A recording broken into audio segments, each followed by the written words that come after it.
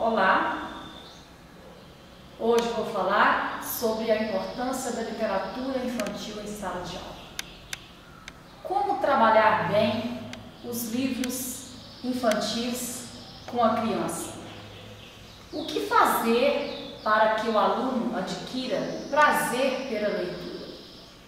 Quais os instrumentos que o professor deve utilizar para que esse aluno adquira o gosto de ler, busque por ele mesmo o caminho da leitura para a sua vida.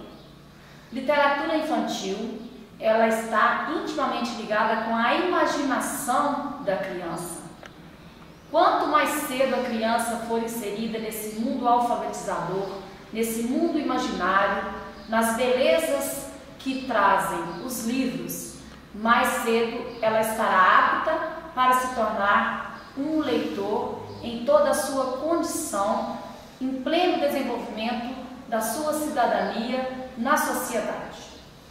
Nos livros que tem o algodão doce que queria ser nuvem e o peixinho que queria voar, trabalha justamente a questão da imaginação, da crença da criança na capacidade das suas potencialidades.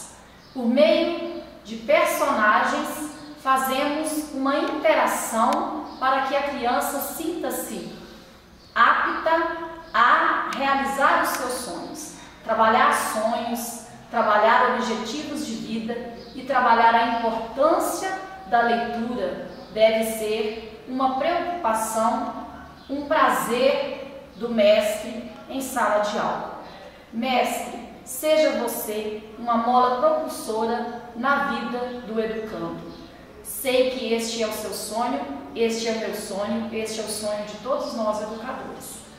Informe-se no site www.marildaconde.com.br ou pelo e-mail marilda.marildaconde.com.br telefone 31 84 30 6660 Será sempre um prazer a interação com cada um de vocês.